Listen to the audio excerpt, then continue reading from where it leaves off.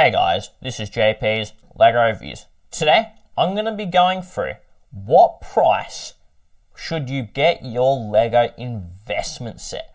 Now, this is the fourth video in my series on how to invest in LEGO, and yeah, let's discover this.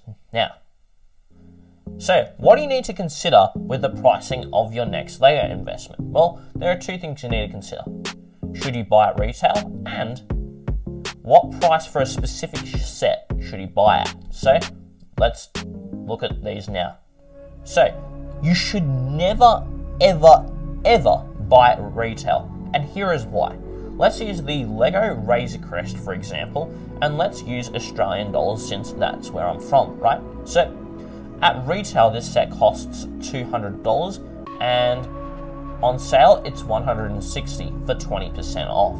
Now, the set after it retires increases to $400 after two years after I've acquired these two sets. One at 200, one at 160. So, let's assume that there's zero costs in selling, and let's say I get exactly $400 back. Well, the $200 investment will have 100% growth. It would have 200% profit. It basically means I've doubled the money on the Razor Crest set. Now, 100% growth is pretty impressive, and getting back $200 is pretty impressive too. But what's more impressive is buying the set at 20% off to then get a $240 profit, an extra $40 profit, or an extra 20% in just profit, or an extra 150% growth. Now, this is in between doubling and tripling the value of the Lego investment instead of just doubling the profit of the Lego investment. And this is actually very, very, just really good actually because for $200 at retail, you only double your value of the set. But because you bought it at 20% off, you're close to tripling the value of the investment. And this is the power of buying Lego on sale. Now, when it comes to the themes that you should avoid, such as Lego Art, Lego City, Lego Friends, Lego Avatar, and Lego Super Mario, you should only get these if they are 50% off or more. The reason why is these sets don't make good investments, and because of that, you should either buy them for extremely low money or just avoid them completely because they're just not going to be that successful. And because of this, 50% off is actually a pretty good way to go because if you buy a set like in the themes to avoid for $20, in two years it increases its worth to $24. You'll get a profit of $4 or 20%. Meanwhile, if you bought it for 50% off or more, so at $10, you would get a 140% increase on your investment. That is more than doubling the worth of the investment. And because of that, you would be able to make 14 more dollars compared to 4. You get an extra $10. And because of buying it for extremely low money, with these bad themes, you're still able to actually churn out a very good profit. But if these sets are nowhere, if they're not 50% off or more, I would run away from these sorts of themes.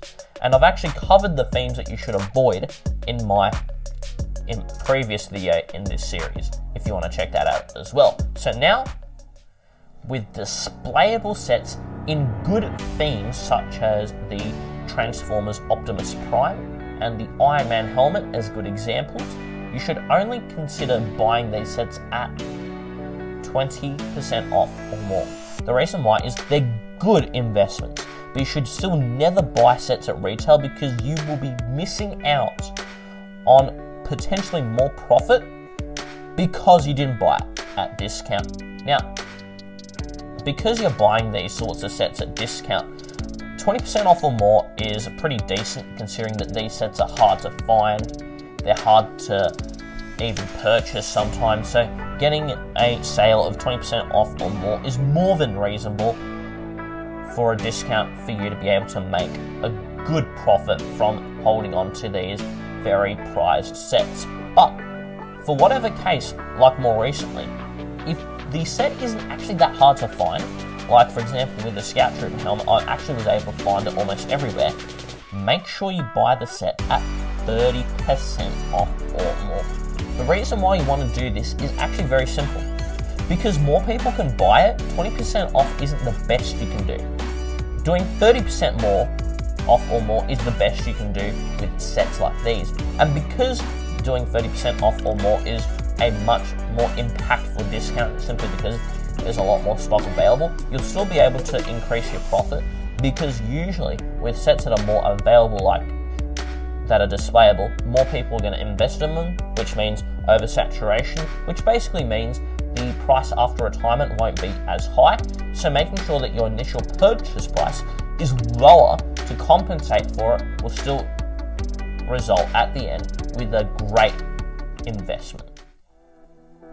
For playable sets, here's the general rule. The range for, the for a purchasing discount is from 20 to 30% off, and it does really depend on the set.